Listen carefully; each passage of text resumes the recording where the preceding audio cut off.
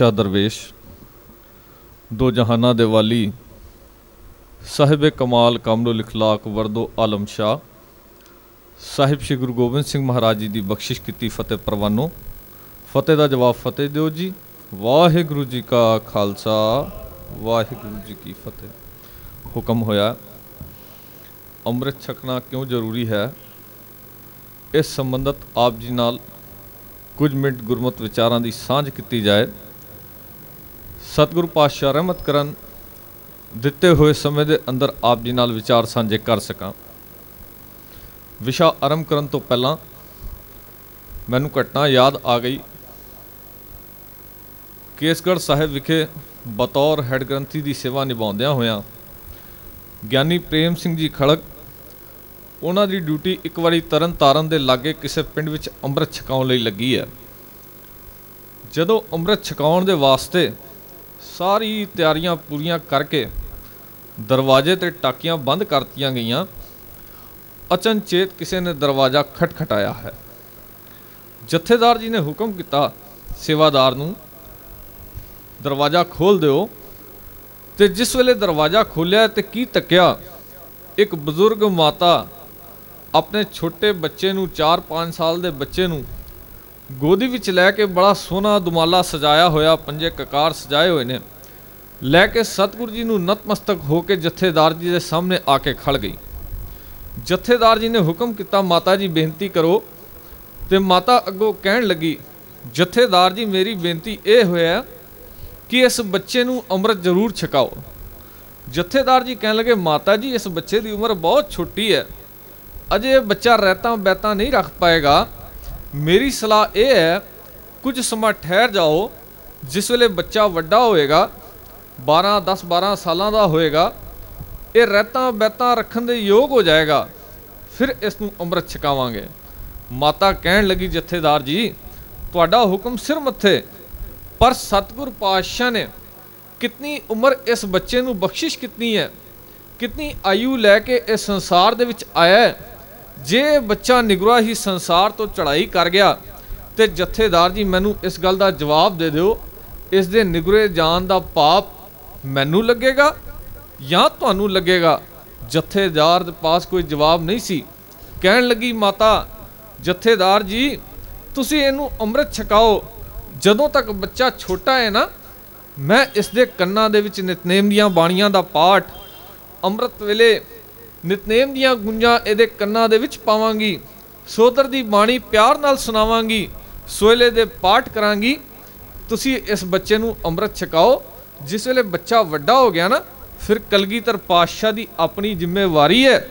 ਇਸ ਬੱਚੇ ਨੂੰ ਬਾਹ ਤੋਂ ਪਕੜ ਕੇ ਗੁਰੂ ਆਪਣੇ ਲੜ ਲਾ ਛੱਡਣਗੇ। ਜਥੇਦਾਰ ਨੇ ਗੱਲ ਸੁਣ ਕੇ ਹੈਰਾਨ ਹੋ ਗਿਆ। ਇਹ ਘਟਨਾ ਸਾਨੂੰ ਇਹ ਸਿੱਖਿਆ ਦਿੰਦੀ ਹੈ। ਕਾਸ਼ ਕਿ ਅੱਜ ਸਾਡੀਆਂ ਮਾਤਾਵਾਂ ਪੈਣਾ ਬਜ਼ੁਰਗ ਉਸ ਮਾਤਾ ਦੇ ਵਾਂਗ ਆਪਣੀ ਇਸ ਜ਼ਿੰਮੇਵਾਰੀ ਨੂੰ ਸਮਝ ਜਾਣ ਕਿ ਅੰਮ੍ਰਿਤ ਛਕਣਾ ਕਿਉਂ ਜ਼ਰੂਰੀ ਹੈ। ਆਓ ਇਸ ਗੱਲ ਤੇ ਵਿਚਾਰ ਕਰੀਏ ਸਾਰਿਆਂ ਤੋਂ ਪਹਿਲਾਂ। ਅੰਮ੍ਰਿਤ ਹੈ ਕੀ? ਦੋ ਸ਼ਬਦਾਂ ਦਾ ਜੋੜ ਹੈ ਅੰਮ੍ਰਿਤ। ਮ੍ਰਿਤ ਪਲੱਸ ਆਲਾ। ਮ੍ਰਿਤ ਦਾ ਮਤਲਬ ਹੁੰਦਾ ਹੈ ਮੌਤ। ਜਦੋਂ ਆਲਾ ਅੱਗੇ ਲੱਗ ਗਿਆ, ਭਾਵ ਮੌਤ ਰਹਿਤ। ਭਾਈ ਸਾਹਿਬ, ਭਾਈ ਕਾਨ ਸਿੰਘ ਜੀ ਨਾਭਾ ਨੇ ਗੁਰਮਤ ਮਾਰਤਣ ਦੇ ਵਿੱਚ ਅੰਮ੍ਰਿਤ ਦੇ ਅਰਥ ਕਰਦਿਆਂ ਹੋਇਆ ਲਿਖਿਆ ਹੈ ਕਹਿੰਦੇ ਉਹ ਪਦਾਰਥ ਜਿਸ ਦੇ ਪੀਣ ਦੇ ਨਾਲ, ਉਹ ਵਸਤੂ ਜਿਸ ਦੇ ਪੀਣ ਦੇ ਨਾਲ ਬੰਦਾ ਮੌਤ ਰਹਿਤ ਹੋ ਜਾਏ ਉਸ ਨੂੰ ਅੰਮ੍ਰਿਤ ਆਖਿਆ ਜਾਂਦਾ ਹੈ। ਤੇ ਗੁਰੂ ਪਾਤਸ਼ਾਹ ਨੇ, ਗੁਰਮਤ ਫਿਲਾਸਫੀ ਨੇ ਦੋ ਕਿਸਮ ਦੀ ਮੌਤ ਮੰਨੀ ਹੈ। ਇੱਕ ਸਰੀਰਕ ਮੌਤ ਹੈ, ਇੱਕ ਆਤਮਿਕ ਮੌਤ ਹੈ। ਸਰੀਰਕ ਮੌਤ ਕੀ ਹੁੰਦੀ ਹੈ? ਆਤਮਿਕ ਮੌਤ ਕੀ ਹੁੰਦੀ ਹੈ?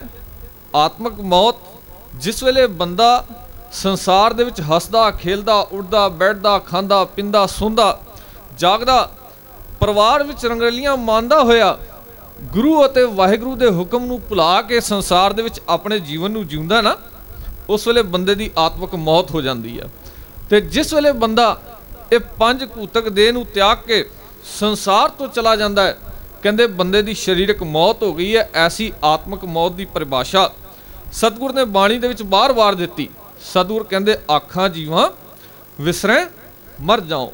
ਗੁਰੂ ਪਾਤਸ਼ਾਹ ਨੇ, ਗੁਰੂ ਨਾਨਕ ਪਾਤਸ਼ਾਹ ਨੇ ਸੁਚੇਤ ਕੀਤਾ, ਕਹਿੰਦੇ, ਸੋ ਜੀਵਿਆ, ਜਿਸ ਮਨ ਵਸਿਆ ਸੋਏ, ਨਾਨਕ ਅਵਰ ਨਾ ਜੀਵੇ ਕੋਏ। ਜੇ ਜੀਵੇ ਪਤਲੱਥੀ ਜਾਏ, ਸਭ ਹਰਾਮ ਜੇਤਾ ਕਿਛ ਖਾਏ। ਐ ਸਿੱਖਾ, ਤੂੰ ਅਗਰ ਗੁਰੂ ਦੇ ਹੁਕਮ ਨੂੰ ਭੁਲਾ ਕੇ ਆਪਣੀ ਜ਼ਿੰਦਗੀ ਨੂੰ ਜੀ ਰਿਹਾ ਨਾ, ਮਤ ਜਾਣੀ ਤੂੰ ਜੀ ਰਿਹਾ ਹੈ। ਤੂੰ ਗੁਰੂ ਤੋਂ ਬਾਗੀ ਹੋ ਕੇ ਆਤਮਕ ਮੌਤ ਦਾ ਜੀਵਨ ਬਤੀਤ ਕਰ ਰਿਹਾ ਹੈ। ਗੁਰੂ ਅਮਰਦਾਸ ਮਹਾਰਾਜ ਨੇ ਆਨੰਦ ਸਾਹਿਬ ਦੀ ਬਾਣੀ ਦੇ ਅੰਦਰ ਬਾਰ-ਬਾਰ ਸਮਝਾਇਆ। ਕਹਿੰਦੇ, ਇਸ ਦੇਹੀ ਨੂੰ ਉਹ ਦੇਵਤੀ, ਦੇਵਤੇ ਲੋਕ ਵੀ ਲੋਚ ਰਹੇ ਨੇ। ਕਿਉਂਕਿ ਜਿਸ ਵੇਲੇ ਉਹਨਾਂ ਪਾਸ ਮਨੁੱਖਾ ਦੇਹੀ ਸੀ ਨਾ, ਉਹ ਇਸ ਅੰਮ੍ਰਿਤ ਤੋਂ ਵਾਂਝੇ ਹੋ ਕੇ ਆਤਮਕ ਮੌਤ ਮਰ ਮਰ ਕੇ ਆਪਣੇ ਜੀਵਨ ਨੂੰ ਬਤੀਤ ਕਰ ਰਹੇ ਸਨ। ਇਸ ਦੁਖੀ ਜਨਤਾ ਦੀ ਪੁਕਾਰ ਉਸ ਸਰਵ ਸ਼ਕਤੀਮਾਨ ਅਕਾਲ ਪੁਰਖ ਵਾਹਿਗੁਰੂ ਦੇ ਦਰ ਤੇ ਪੁੱਜੀ, ਜਿਸ ਵੇਲੇ ਗੁਰੂ ਨਾਨਕ ਪਾਤਸ਼ਾਹ ਤੋਂ ਪਹਿਲਾਂ ਦੀ ਦਸ਼ਾ ਦੇਖਦੇ ਆ ਨਾ ਬੰਦਾ ਮਰ ਰਿਹਾ ਹੈ, ਖੱਪ ਰਿਹਾ ਭਾਈ ਭਾਈ ਦਾ ਕਤਲ ਕਰ ਰਿਹਾ ਹੈ, ਊਚ ਨੀਚ ਜਾਤ ਪਾਤ ਦੇ ਵਖਰੇਵੇਂ ਫੈਲੇ ਹੋਏ ਨੇ ਤੇ ਕਹਿੰਦੇ ਇਸ ਦੁਖੀ ਜਨਤਾ ਦੀ ਪੁਕਾਰ ਉਸ ਸਰਵ ਸ਼ਕਤੀਮਾਨ ਅਕਾਲ ਪੁਰਖ ਦੇ ਵਾਹਿਗੁਰੂ ਦੇ ਦਰ ਤੇ ਪੁੱਜੀ। ਉਸ ਵੇਲੇ ਉਹ ਅਰਦਾਸ ਪ੍ਰਵਾਨ ਹੋਈ ਤੇ ਸੁਣੀ ਪੁਕਾਰ ਦਾਤਾਰ ਪ੍ਰਭ, ਗੁਰੂ ਨਾਨਕ ਜਗਮਾਹੇ ਪਠਾਇਆ। ਗੁਰੂ ਨਾਨਕ ਪਾਤਸ਼ਾਹ ਨਾਮ ਰੂਪੀ ਅੰਮ੍ਰਿਤ ਦਾ ਬਾਟਾ ਲੈ ਕੇ ਇਸ ਸੰਸਾਰ ਦੇ ਵਿੱਚ ਪ੍ਰਗਟ ਹੋਏ। ਤੇ ਗੁਰੂ ਅਮਰਦਾਸ ਮਹਾਰਾਜ ਨੇ ਇਹ ਗੱਲ ਬਾਣੀ ਦੇ ਵਿੱਚ ਜ਼ਿਕਰ ਕਰਤੀ। ਉਸ ਅੰਮ੍ਰਿਤ ਦੀ ਭਾਲ ਦੇ ਵਿੱਚ ਦੇਵੀ ਦੇਵਤੇ ਲੱਭਦੇ ਰਹੇ, ਪਰ ਅੰਮ੍ਰਿਤ ਲੱਭ ਨਹੀਂ ਸਕਿਆ। ਆ ਮਿਥਿਆਸ ਦੀ ਘਟਨਾ ਜਿਸ ਵੇਲੇ ਪੜ੍ਹਦੇ ਆ ਨਾ, ਸ਼ੇਸ਼ ਨਾਗ ਦਾ ਨੇਤਰਾ ਪਾ ਕੇ, ਸੁਮੇਰ ਪਰਬਤ ਦਾ ਮਦਾਨਾ ਬਣਾ ਕੇ, ਸਮੁੰਦਰ ਰਿੜਕਿਆ ਗਿਆ ਤੇ ਉਹਦੇ ਵਿੱਚੋਂ 14 ਰਤਨ ਨਿਕਲੇ, ਪਰ ਉਹ ਅੰਮ੍ਰਿਤ ਫਿਰ ਵੀ ਨਹੀਂ ਲੱਭਿਆ, ਜਿਸ ਅੰਮ੍ਰਿਤ ਦੇ ਨਾਲ ਮਨੁੱਖ ਨੇ ਆਤਮਿਕ ਮੌਤ ਤੋਂ ਬਚਣਾ ਸੀ। ਉਸ ਅੱਜ ਵੀ ਦੇਵੀ ਦੇਵਤੇ ਇਸ ਦੇਹੀ ਨੂੰ ਭਾਲ ਨੇ। ਗੁਰੂ ਸਾਹਿਬ ਨੇ ਬਾਣੀ ਦੇ ਵਿੱਚ ਜ਼ਿਕਰ ਕੀਤਾ, ਇਸ ਦੇਹੀ ਕੋ ਸਿਮਰੇ ਦੇਵ, ਸੋ ਦੇਹੀ ਪਰ ਹਜ ਕੀ, ਹਰ ਕੀ ਸੇਵ, ਕਿਉਂਕਿ ਇਸ ਦੇਹੀ ਕੇ ਅਧਿਕ ਕਾਮ ਤੇ ਸਰਵੋਤਮ ਕੰਮ ਕੀ ਹੈ। ਗੁਰੂ ਪਿਆਰ ਵਾਲਿਓ, ਅੰਮ੍ਰਿਤ ਪੀਵੋ, ਸਦਾ ਚਿਰ ਜੀਵੋ, ਹਰ ਸਿਮਰਤ ਅਨੰਤ ਅਨੰਤਾ, ਰੰਗ ਤਮਾਸ਼ਾ, ਪੂਰਨ ਆਸਾ, ਕਬੇ ਨਾ ਵਿਆਪੇ ਚਿੰਤਾ। ਗੁਰੂ ਪਿਆਰ ਵਾਲੇ ਤੂੰ ਗੁਰੂ ਦੇ ਦਰ ਤੇ ਆ ਕੇ ਜੋਦੜੀ ਕਰ, ਤਰਲਾ ਕਰ, ਤੇਰੇ ਮਨ ਦੇ ਅੰਦਰ ਦੀਆਂ ਸਾਰੀਆਂ ਚਿੰਤਾਵਾਂ ਨੂੰ ਗੁਰੂ ਨਾਸ਼ ਕਰ ਦੇਗਾ। ਤੇ ਭ- ਭਗਤ ਕਬੀਰ ਜੀ ਨੇ, ਗੁਰੂ ਨਾਨਕ ਪਾਤਸ਼ਾਹ ਨੇ ਇਹ ਗੱਲ ਵੀ ਚੇਤਾ ਕਰਾਤੀ ਦੁਨੀਆ ਦੇ ਲੋਕੋ, ਜਿਸ ਅੰਮ੍ਰਿਤ ਨੂੰ ਬਾਹਰ ਲੱਭਦੇ ਫਿਰਦੇ ਹੋ ਨਾ, ਉਹ ਅੰਮ੍ਰਿਤ ਹੈ ਹਿਰਦੇ ਵਿੱਚ। ਨਾਨਕ ਅੰਮ੍ਰਿਤ ਮਨੇ ਮਾਹੇ, ਪਾਈਏ ਗੁਰ ਪ੍ਰਸਾਦ ਗੁਰੂ ਦੀ ਕਿਰਪਾ ਦੇ ਨਾਲ ਇਸ ਅੰਮ੍ਰਿਤ ਦੀ ਪ੍ਰਾਪਤੀ ਹੋਣੀ ਹੈ। ਪਰ ਹੋਣੀ ਕਿਸ ਤਰ੍ਹਾਂ ਹੈ? ਗੁਰੂ ਪਾਤਸ਼ਾਹ ਨੇ ਇੱਕ ਫਾਰਮੂਲਾ ਦੱਸਿਆ, ਕਹਿੰਦੇ ਗੁਰ ਕੇ ਭਾਣੇ ਵਿੱਚ ਅੰਮ੍ਰਿਤ ਹੈ, ਸਹਿਜੇ ਪਾਵੇ ਕੋਈ। ਗੁਰੂ ਦੇ ਭਾਣੇ ਦੇ ਵਿੱਚ ਗੁਰੂ ਦੀ ਦੱਸੀ ਹੋਈ ਮਰਿਆਦਾ ਦੇ ਵਿੱਚ ਚੱਲਣ ਵਾਲੇ ਮਨੁੱਖ ਨੂੰ ਇਹ ਅੰਮ੍ਰਿਤ ਰੋਜ਼ਾਨਾ ਹੀ ਲੱਭਦਾ ਰਹੇਗਾ। ਗੁਰੂ ਪਾਤਸ਼ਾਹ ਨੇ ਜਿੱਥੇ ਗੱਲ ਸਮਝਾਈ, ਭਗਤ ਕਬੀਰ ਜੀ ਨੇ ਚੇਤਾਵਨੀ ਦਿੱਤੀ ਇਹ ਮੂਰਖ ਮਨੁੱਖ, ਤੈਨੂੰ ਇਹ ਦੇਹੀ ਪ੍ਰਾਪਤ ਹੋਈ ਹੈ ਤੇ ਤੂੰ ਇਸ ਦੇਹੀ ਦੇ ਹੰਕਾਰ ਦੇ ਵਿੱਚ ਡੱਪੇ ਡੋਲੇ ਖਾਂਦਾ ਫਿਰ ਰਿਹਾ ਇਹ ਜਵਾਨੀ ਪ੍ਰਾਪਤ ਹੋਈ ਹੈ, ਇਹ ਮਨੁੱਖਾ ਦੇਹੀ ਲੱਭੀ ਹੈ, ਇਸ ਕਰਕੇ ਨਹੀਂ ਲੱਭੀ ਕਿ ਖਾਓ ਪੀਓ ਤੇ ਐਸ਼ ਕਰੋ। ਇਹ ਕਈ ਜੂਨਾਂ ਦੇ ਵਿੱਚ ਭਟਕਣ ਤੋਂ ਬਾਅਦ ਤੈਨੂੰ ਇਹ ਦੇਹੀ ਮਿਲੀ ਹੈ, ਇਸ ਦੇਹੀ ਨੂੰ ਮਾਲਕ ਦੇ ਚਰਨਾਂ ਦੇ ਵਿੱਚ ਲਾ। ਭਗਤ ਕਬੀਰ ਜੀ ਚੇਤਾਵਨੀ ਦਿੰਦੇ, ਕਹਿੰਦੇ, ਕੁੱਕਰ, ਸੁੱਕਰ, ਜੋਨ ਪ੍ਰਮੇ, ਤਉ ਲਾਜ ਨਾ ਆਈ। RAM ਨਾਮ ਛਾੜ ਅੰਮ੍ਰਿਤ ਕਾਹੇ ਭਿਖਾਈ। ਤੂੰ ਕੁੱਤਿਆਂ, ਗਧਿਆਂ, ਗਾਵਾਂ ਕਿੰਨੀਆਂ ਜੂਨਾਂ ਦੇ ਵਿੱਚ ਭਟਕਣ ਤੋਂ ਬਾਅਦ ਇਸ ਮਨੁੱਖਾ ਦੇਹੀ ਵਿੱਚ ਆਏ ਅਜੇ ਵੀ RAM ਨਾਮ ਰੂਪੀ ਅੰਮ੍ਰਿਤ ਛਕਣ ਵਾਸਤੇ ਤਿਆਰ ਨਹੀਂ। ਕਿ ਇਸ ਦੇਹੀ ਨੂੰ ਵੀ ਅਜਾਈ ਗਵਾ ਲੇਗਾ ਜਿੱਥੇ ਭਗਤ ਕਬੀਰ ਜੀ ਨੇ ਇਹ ਗੱਲ ਸਮਝਾਈ, ਆਓ ਜਰਾ ਸਮਝਣ ਦਾ ਯਤਨ ਕਰੀਏ ਕਿ ਅੰਮ੍ਰਿਤ ਹੈ ਕੀ। ਗੁਰੂ ਪਾਤਸ਼ਾਹ ਨੇ ਜਿੱਥੇ ਗੱਲਾਂ ਸਮਝਾਈਆਂ, ਗੁਰਮਤਿ ਫਿਲਾਸਫੀ ਨੇ ਇਹ ਗੱਲ ਸਮਝਾਈ। ਜਿਸ ਤਰ੍ਹਾਂ ਸਾਡੇ ਸਾਹਮਣੇ ਕੜਾ ਪ੍ਰਸ਼ਾਦ ਦੀ ਦੇਖ ਪਈ ਹੋਈ ਹੈ ਨਾ ਕੜਾ ਪ੍ਰਸ਼ਾਦ ਦੀ ਦੇਖ ਚਾਰ ਚੀਜ਼ਾਂ ਦੇ ਇਕੱਠ ਨਾਲ ਤਿਆਰ ਹੁੰਦੀ ਹੈ। ਆਟਾ, ਘਿਓ, ਮਿੱਠਾ ਤੇ ਪਾਣੀ। ਜਿਸ ਵੇਲੇ ਇਹ ਚਾਰ ਚੀਜ਼ਾਂ ਦਾ ਇਕੱਠ ਹੋ ਜਾਂਦਾ ਹੈ ਕੜਾ ਪ੍ਰਸ਼ਾਦ ਦੀ ਦੇਖ ਤਿਆਰ ਹੋ ਜਾਂਦੀ ਹੈ। ਇਸੇ ਤਰ੍ਹਾਂ ਅੰਮ੍ਰਿਤ ਤਿਆਰ ਕਰਨ ਦੇ ਲਈ ਵਿਚਾਰਵਾਨਾਂ ਨੇ ਲਿਖਿਆ ਪੰਜ ਚੀਜ਼ਾਂ ਦਾ ਹੋਣਾ ਜ਼ਰੂਰੀ ਹੈ। ਭਗਤੀ, ਸ਼ਕਤੀ, ਨਿਮਰਤਾ, ਕੁਮਲਤਾ, ਤਿਆਗ। ਇਹ ਪੰਜ ਚੀਜ਼ਾਂ ਲਵਣੀਆਂ ਕਿੱਥੋਂ ਨੇ? ਜਪਜੀ ਤੋਂ ਭਗਤੀ, ਜਾਪ ਤੋਂ ਸ਼ਕਤੀ, ਨਿ- ਸਵਈਏ ਤੋਂ ਤਿਆਗ ਤੇ ਚੌਪਈ ਤੋਂ ਨਿਮਰਤਾ ਅਤੇ ਅਨੰਦ ਸਾਹਿਬ ਤੋਂ ਕੁਮਲਤਾ ਲੈ ਕੇ ਗੁਰੂ ਸਾਹਿਬਾਨ ਨੇ ਧੰਨ ਗੁਰੂ ਗੋਬਿੰਦ ਸਿੰਘ ਪਾਤਸ਼ਾਹ ਨੇ ਇਹ ਅੰਮ੍ਰਿਤ ਤਿਆਰ ਕੀਤਾ ਤੇ 1699 ਦੀ ਵਿਸਾਖੀ ਵਾਲੇ ਦਿਨ ਇਹ ਹੁਕਮ ਕਰਤਾ। ਅੱਜ ਤੋਂ ਬਾਅਦ ਮੇਰਾ ਸਿੱਖ ਉਹੀ ਹੋਏਗਾ ਜਿਹੜਾ ਖੰਡੇ ਬਾਟੇ ਕੀ ਪੌਲ ਛਕ ਲੇਗਾ ਇਸ ਅੰਮ੍ਰਿਤ ਨੂੰ ਛਕ ਲੇਗਾ ਤੇ ਭਾਈ ਸਾਹਿਬ, ਭਾਈ ਗੁਰਦਾਸ ਜੀ ਨੇ ਬੜੀ ਸਵਾਦਲੀ ਗੱਲ ਲਿਖੀ। ਭਾਈ ਸਾਹਿਬ, ਭਾਈ ਗੁਰਦਾਸ ਜੀ ਕਹਿੰਦੇ, ਜਿਸ ਤਰ੍ਹਾਂ ਸੱਤ ਚੀਜ਼ਾਂ ਦੇ ਇਕੱਠ ਦੇ ਨਾਲ ਸਭ ਤੋਂ ਵਧੀਆ ਵਸਤੂ ਅਰਗਦਾ ਤਿਆਰ ਹੋ ਜਾਂਦੀ ਹੈ ਨਾ। ਸਗਲ ਸੁਗੰਧਤਾ ਮਿਲਤ ਅਰਗਦਾ ਹੋਤ ਉਹ ਕਿਹੜੀਆਂ ਸੱਤ ਚੀਜ਼ਾਂ ਨੇ? ਕਹਿੰਦੇ ਕਪੂਰ, ਕੇਸਰ, ਕਸਤੂਰੀ, ਚੰਦਨ, ਇਤਰ, ਗੁਲਾਬ ਦੇ ਫੁੱਲ ਅਤੇ ਪੱਤੇ। ਜਿਸ ਵੇਲੇ ਇਹ ਸੱਤ ਚੀਜ਼ਾਂ ਇਕੱਠੀਆਂ ਹੋ ਜਾਂਦੀਆਂ ਨੇ, ਕਹਿੰਦੇ ਇੱਕ ਬੜੀ ਖੂਬਸੂਰਤ ਵਸਤੂ ਅਰਗਦਾ ਤਿਆਰ ਹੋ ਜਾਂਦੀ ਹੈ। ਕਹਿੰਦੇ ਇਸੇ ਤਰ੍ਹਾਂ ਜੇ ਕਿਸੇ ਮਨੁੱਖ ਦੇ ਜੀਵਨ ਦੇ ਅੰਦਰ ਸੱਤ ਗੁਣ ਇਕੱਠੇ ਹੋ ਜਾਣ, ਉਹ ਸੱਤ ਗੁਣ ਕਿਹੜੇ ਨੇ? ਸਤ ਸੰਤੋਖ, ਦਇਆ, ਧਰਮ, ਨਾਮ, ਦਾਨ, ਇਸ਼ਨਾਨ, ਦ੍ਰਿੜਾਇਆ ਕਹਿੰਦੇ ਇਹ ਸੱਤ ਗੁਣ ਕਿਸੇ ਮਨੁੱਖ ਦੇ ਜੀਵਨ ਦੇ ਅੰਦਰ ਇਕੱਠੇ ਹੋ ਜਾਣ ਤੇ ਉਸ ਤੋਂ ਵਧੀਆ ਮਨੁੱਖ ਸੰਸਾਰ ਦੇ ਅੰਦਰ ਕੋਈ ਹੋ ਨਹੀਂ ਸਕਦਾ। ਜਿੱਥੇ ਗੁਰੂ ਪਾਤਸ਼ਾਹ ਨੇ, ਭਾਈ ਗੁਰਦਾਸ ਜੀ ਨੇ ਸਾਡੇ ਜੀਵਨ ਨੂੰ ਸੇਧ ਦੇਣ ਦੇ ਲਈ ਇਹ ਗੱਲਾਂ ਕੀਤੀਆਂ, ਉੱਥੇ ਗੁਰੂ ਪਾਤਸ਼ਾਹ ਨੇ ਜਿਸ ਵੇਲੇ 1699 ਦੀ ਵਿਸਾਖੀ ਵਾਲੇ ਦਿਨ ਅੰਮ੍ਰਿਤ ਦੀ ਦਾਤ ਬਖਸ਼ਿਸ਼ ਕੀਤੀ, ਜਿਹੜੇ ਪੰਜ ਪਿਆਰੇ ਇਕੱਠੇ ਕੀਤੇ ਨਾ, ਜਿਹੜੇ ਪੰਜ ਪਿਆਰੇ ਇਕੱਠੇ ਹੋਏ, ਉਹ ਇਨ ਗੁਣਾਂ ਦੇ ਧਾਰਨੀ ਸਨ। ਕਦੀ ਵਿਚਾਰ ਕਰਕੇ ਦੇਖੋ ਕੋਈ ਇਦਾਂ ਖਾਲਸਾ ਨਹੀਂ ਸਾਜਿਆ। ਗੁਰੂ ਪਾਤਸ਼ਾਹ ਨੇ ਉਹਨਾਂ ਦੇ ਅੰਦਰ ਗੁਣ ਪੜੇ। ਭਾਈ ਦਇਆ ਸਿੰਘ, ਭਾਈ ਧਰਮ ਸਿੰਘ, ਭਾਈ ਹਿੰਮਤ ਸਿੰਘ, ਭਾਈ ਮੋਕਮ ਸਿੰਘ, ਭਾਈ ਸਾਹਿਬ ਸਿੰਘ। ਗੁਰੂ ਪਾਤਸ਼ਾਹ ਨੇ ਇਹ ਗੱਲ ਸਮਝਾਈ, ਸਿੱਖਾ ਤੇਰੇ ਅੰਦਰ ਇਹ ਗੁਣ ਹੋਣੇ ਚਾਹੀਦੇ ਨੇ। ਉਹ ਗੁਣ ਕਿਹੜੇ ਨੇ? ਦਇਆ 68 ਤੀਰਥ ਸਗਲ ਪੁੰਨ, ਜੀ ਦਇਆ ਪ੍ਰਵਾਨ, ਇਹ ਗੁਣ ਤੇਰੇ ਅੰਦਰ ਹੋਵੇ। ਧਰਮ ਸਿੰਘ, ਤੇਰੇ ਅੰਦਰ ਧਰਮ ਦਾ ਵੀ ਗੁਣ ਹੋਵੇ। ਤੂੰ ਰਹਿਤਾ ਬੈਗਤਾ ਦਾ ਪੱਕਾ ਹੋਵੇ। ਤੂੰ ਧਰਮ ਦੇ ਉੱਪਰ ਆਪਣੀ ਜ਼ਿੰਦਗੀ ਨੂੰ ਬਤੀਤ ਕਰੇ। ਰਹਿਣੀ ਰਹੇ, ਸੋਈ ਸਿੱਖ ਮੇਰਾ। ਉਹ ਸਾਹਿਬ, ਮੈਂ ਉਸਕਾ ਚਿਹਰਾ ਗੁਰੂ ਪਾਤਸ਼ਾਹ ਨੇ ਤੀਜਾ ਗੁਣ ਹਿੰਮਤ ਦਾ ਭਰਿਆ। ਤੇਰੇ ਜੀਵਨ ਦੇ ਅੰਦਰ ਹਿੰਮਤ ਹੋਵੇ। ਹਿੰਮਤ ਕਿਹੜੀ ਹੋਵੇ? ਤੂੰ ਕਦੀ ਡੱਪੇ ਡੋਲੇ ਨਾ ਖਾਏ। ਉਦਮ ਕਰੇਂਦਿਆਂ ਜਿਉ ਤੂੰ, ਕਮਾਉਂਦਿਆਂ ਸੁਖ ਪੁੰਚ ਧਿਆਇਂਦਿਆਂ ਤੂੰ ਪ੍ਰਭੂ ਮਿਲ। ਨਾਨਕ ਉਤਰੀ ਚਿੰਤ। ਚੌਥਾ ਗੁਣ ਪਾਤਸ਼ਾਹ ਨੇ ਮੁਕਮਤਾ ਦਾ ਭਰਿਆ। ਤੇਰੇ ਅੰਦਰ ਮੁਕਮਤਾ ਹੋਵੇ, ਕਦੀ ਜ਼ਿੰਦਗੀ ਵਿੱਚ ਪਿੱਛੇ ਮੁੜ ਕੇ ਨਾ ਤੱਕੇ। ਜ਼ਿੰਦਗੀ ਵਿੱਚ ਤੇਰੇ ਪਿਛਾ ਦੇਖਣ ਦਾ ਸਮਾਂ ਨਾ ਆਏ। ਪਾਛੇ ਪਾਉ ਨਾ ਦੀਜੇ, ਆਗੇ ਹੋਏ ਸੋ ਹੋਏ। ਭਾਵੇਂ ਜਿਹੜਾ ਮਨ ਚਾਹੇ ਤੈਨੂੰ ਮੁਕਾਬਲੇ ਕਰਨੇ ਪੈ ਜਾਣ, ਭਾਵੇਂ ਤੈਨੂੰ ਜਿੱਥੇ ਮਨ ਚਾਹੇ ਜੂਝਣਾ ਪੈ ਜਾਏ, ਤੂੰ ਪਿੱਛੇ ਹੋ ਕੇ ਨਾ ਤੱਕੇ। ਪੰਜਵਾਂ ਗੁਣ ਸਾਹਿਬੀ ਦਾ ਬਖਸ਼ਿਸ਼ ਕੀਤਾ। ਸਾਡੇ ਬਜ਼ੁਰਗ ਗਾਉਂਦੇ ਹੁੰਦੇ ਸਨ, ਹਮ ਰਾਖਤ ਪਾਤਸ਼ਾਹੀ ਦਾਵਾ ਜਾਂ ਇੱਕੋ ਜਾਂ ਅਗਲੋ ਪਾਵਾ ਸਗਲ ਤਰਤ ਔਰ ਤਵਲ ਡੁਲਾਏ, ਸਤਿਗੁਰ ਬਚਨ ਨਾ ਖਾਲੀ ਜਾਏ। ਗੁਰੂ ਦੇ ਬਚਨ ਖਾਲੀ ਨਾ ਜਾਣ, ਭਾਵੇਂ ਤੈਨੂੰ ਆਪਣੇ ਆਪ ਨੂੰ ਕੁਰਬਾਨ ਕਰਨਾ ਪੈ ਜਾਏ। ਇਹ ਗੁਣ ਬਖਸ਼ਿਸ਼ ਕੀਤੇ, ਇਹ ਗੁਣ ਦੇ ਕੇ ਖਾਲਸੇ ਦੀ ਸਿਰਜਣਾ ਕੀਤੀ ਤੇ ਇੱਕ ਗੱਲ ਸਮਝਾਤੀ ਕਿ ਅੰਮ੍ਰਿਤ ਹੈ ਇੱਕੋ। ਕਿਸੇ ਸਰੋਵਰ ਦਾ ਭਰ ਕੇ ਲਿਆਂਦਾ ਹੋਇਆ ਜਲ ਅੰਮ੍ਰਿਤ ਨਹੀਂ ਅਖਵਾ ਸਕਦਾ। ਕਿਸੇ ਸਾਧ ਸੰਗ ਟਿੱਬੀ ਪਖੰਡੀ ਦੇ ਚਰਨ ਧੋ ਧੋ ਕੇ ਲਿਆਇਆ ਹੋਇਆ ਜਲ ਅੰਮ੍ਰਿਤ ਨਹੀਂ ਅਖਵਾ ਸਕਦਾ। ਸਾਡੀ ਮਨਮਤ ਕਰਕੇ ਅਖੰਡ ਪਾਠ ਦੇ ਨਾਲ ਰੱਖਿਆ ਹੋਇਆ ਕੜੇ ਵਿੱਚ ਭਰਿਆ ਹੋਇਆ ਜਲ ਵਰੁਣ ਦੇਵਤੇ ਦੀ ਪੂਜਾ ਵਾਲਾ ਉਹ ਅੰਮ੍ਰਿਤ ਨਹੀਂ ਅਖਵਾ ਸਕਦਾ। ਅੰਮ੍ਰਿਤ ਹੈ ਕਿ? ਗੁਰੂ ਪਾਤਸ਼ਾਹ ਨੇ ਗੱਲ ਸਮਝਾਈ। ਕਹਿੰਦੇ, ਸਿੰਘ ਸੋ ਰਹਿਤ ਪੰਚ ਜੇ ਮਿਲੇ, ਮਮ ਸਰੂਪ ਸੋ ਦੇਖੋ ਭਲੇ। ਇਨ ਪੰਚਨ ਮੇ ਮੇਰੋ ਵਾਸਾ, ਪੂਰਨ ਕਰੋ ਤਰੋਜੇ ਆਸਾ।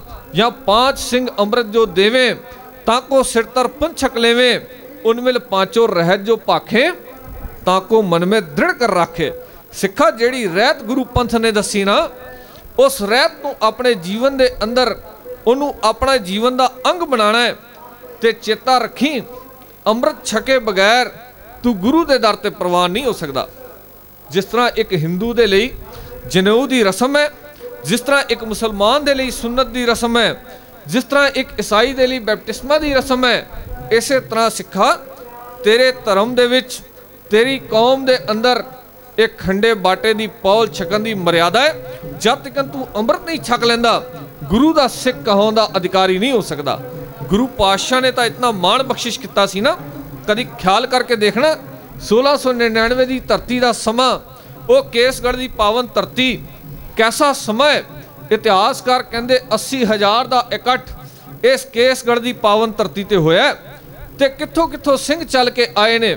ਕੋਈ ਲਾਹੌਰ ਤੋਂ ਆਇਆ, ਕੋਈ ਦਿੱਲੀ ਤੋਂ ਆਇਆ, ਕੋਈ ਬਿਦਰ ਤੋਂ ਆ ਰਿਹਾ ਹੈ, ਕੋਈ ਮਹਾਰਾਸ਼ਟਰ ਤੋਂ ਆ ਰਿਹਾ ਹੈ, ਕੋਈ ਕਰਨਾਟਕ ਤੋਂ ਆ ਰਿਹਾ ਹੈ, ਕੋਈ ਜਗਨਨਾਥਪੁਰੀ ਤੋਂ ਆ ਰਿਹਾ ਹੈ, ਕੋਈ ਰੇਲ ਗੱਡੀਆਂ ਨਹੀਂ, ਕੋਈ ਹਵਾਈ ਜਹਾਜ਼ ਨਹੀਂ, ਕੋਈ ਹੈਲੀਕਾਪਟਰ ਨਹੀਂ, ਬਲਕਿ 2.5 2.5 ਮਹੀਨੇ ਪਹਿਲਾਂ ਤਿੰਨ ਤਿੰਨ ਮਹੀਨੇ ਪਹਿਲਾਂ ਗੁਰੂ ਕੇ ਲਾਲ ਗੁਰੂ ਦੀਆਂ ਚਿੱਠੀਆਂ ਗੁਰੂ ਦੇ ਹੁਕਮਨਾਮੇ ਪੜ੍ਹ ਕੇ ਉਹ ਬਿਦਰ ਦੀ ਧਰਤੀ ਤੋਂ ਤੁਰੇ। ਕਿੰਨੇ ਝਕੜਾਂ ਦੇ ਵਿੱਚ, ਹਨੇਰੀਆਂ ਵਿੱਚ ਰਾਤਾਂ ਕੱਟ ਕੇ ਉਸ ਕੇਸਗੜ੍ਹ ਦੀ ਪਾਵਨ ਧਰਤੀ ਤੇ ਪੁੱਜੇ। ਕਿਸ ਵਾਸਤੇ? ਕਿ ਗੁਰੂ ਪਾਤਸ਼ਾਹ ਨੇ ਕੋਈ ਦੀਵਾਨ ਸਜਾਣਾ ਹੈ? ਗੁਰੂ ਪਾਤਸ਼ਾਹ ਨੇ ਕੋਈ ਕੀਰਤਨ ਦਰਬਾਰ ਕਰਨਾ ਹੈ? ਗੁਰੂ ਪਾਤਸ਼ਾਹ ਨੇ ਕੋਈ ਸਮਾਗਮ ਕਰਨੇ ਨੇ? ਨਹੀਂ। ਕਲਗੀਧਰ ਪਾਤਸ਼ਾਹ ਨੇ ਸ਼ੀਸ਼ ਮੰਗਣਾ ਤੇ ਅਸੀਂ ਗੁਰੂ ਨੂੰ ਸ਼ੀਸ਼ ਪੇਟਾ ਕਰ ਦੇਣਾ ਕੋਈ ਲੰਗਰ ਛਕਣ ਨਹੀਂ ਜਾਣੇ? ਕੋਈ ਖੀਰ ਦੀਆਂ ਬਾਲਟੀਆਂ ਵਰਤਾਉਣ ਨਹੀਂ ਜਾਣਿਆ। ਕਲਗੀਧਰ ਪਾਤਸ਼ਾਹ ਨੇ 1699 ਦੀ ਵਿਸਾਖੀ ਵਾਲੇ ਦਿਨ ਜਿਸ ਵੇਲੇ ਆਵਾਜ਼ ਮਾਰੀ ਨਾ, ਕੇਸਗੜ੍ਹ ਦੀ ਪਾਵਨ ਧਰਤੀ ਦੇ ਉੱਪਰ, ਉਹ ਆ ਉਰਾਂ ਥਾਂ ਥਾਂ ਤੇ ਗਰਦਨ ਝੁਕਾਉਣ ਵਾਲਿਆ, ਮੈਂ ਤੇਰੀ ਅਣਖ ਨੂੰ ਮਗਰੂਰ ਹੁੰਦਾ ਦੇਖਣਾ ਤੇਰੇ ਨਿਰਬਲ ਡੋਲਿਆਂ ਵਿੱਚ ਉਹ ਪਾ ਕੇ ਹਿੰਮਤ ਦੀ ਕਣੀ, ਮੈਂ ਤੇਰੇ ਹੱਥੋਂ ਦੇਸ਼ ਦਾ ਦੁੱਖ ਦੂਰ ਹੁੰਦਾ ਦੇਖਣਾ ਉਹ ਆ, ਮੈਨੂੰ ਲੋੜ ਨਹੀਂ ਲੱਖਾਂ ਬਟੇਰਿਆਂ ਦੀ ਅੱਜ ਮੈਨੂੰ ਕੋਈ ਲੱਖਾਂ ਬਟੇਰਿਆਂ ਦਾ ਇਕ- ਇਕੱਠ ਨਹੀਂ ਚਾਹੀਦਾ। ਮੈਨੂੰ ਕੋਈ ਹਜ਼ਾਰਾਂ ਦੀ ਗਿਣਤੀ, ਲੱਖਾਂ ਦੀ ਗਿਣਤੀ ਨਹੀਂ ਚਾਹੀਦੀ। ਅੱਜ ਤਾਂ ਅਸੀਂ ਸਮਾਗਮ ਕਰਦੇ ਆ ਨਾ, ਅਸੀਂ ਕਹਿੰਦੇ ਆ ਸੰਗਤ ਵੱਧ ਤੋਂ ਵੱਧ ਹੋਣੀ ਚਾਹੀਦੀ ਹੈ। ਭਾਵੇਂ ਜਿੱਦਾਂ ਦੀ ਹੋਵੇ, ਅਸੀਂ ਸਟਾਲ ਲਾ ਲਾ ਕੇ ਸੰਗਤਾਂ ਇਕੱਠੀਆਂ ਕਰਦੇ ਆ ਪਰ ਕਲਗੀਧਰ ਪਾਤਸ਼ਾਹ ਨੇ ਆਵਾਜ਼ ਮਾਰੀ ਸੀ, ਉਹ ਆਉਰਾਂ ਥਾਂ ਥਾਂ ਤੇ ਗਰਦਨ ਚੁਕਾਉਣ ਵਾਲਿਆ।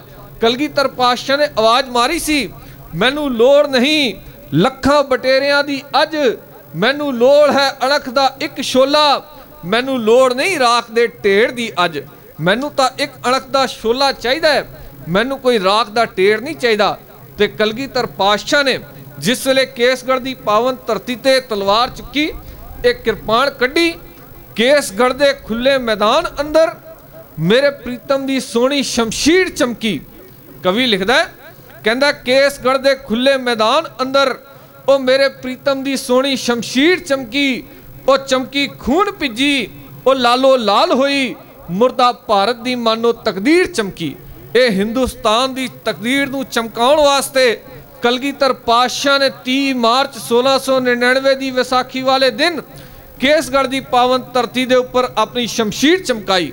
ਤੇ ਜਿਹੜੇ ਲੋਕ ਕਹਿੰਦੇ ਸਨ ਨਾ, ਸੱਚੇ ਪਾਤਸ਼ਾਹ, ਉਹ ਪਹਾੜੀ ਰਾਜੇ ਸੱਚੇ ਪਾਤਸ਼ਾਹ ਤੁਹਾਡੇ ਪੰਥ ਦੇ ਵਿੱਚ ਆ ਜਾਂਦੇ ਆ ਤੁਹਾਡੀ ਕੌਮ ਦੇ ਵਿੱਚ ਆ ਜਾਂਦੇ ਆ ਤੁਹਾਡੇ ਖੰਡੇ ਬਾਟੇ ਦੇ ਅੰਮ੍ਰਿਤ ਨੂੰ ਅਸੀਂ ਛਕ ਲੈਨੇ ਆ ਪਰ ਸਾਡੀ ਵੀ ਇੱਕ ਸ਼ਰਤ ਹੈ, ਉਹ ਸ਼ਰਤ ਕੀ?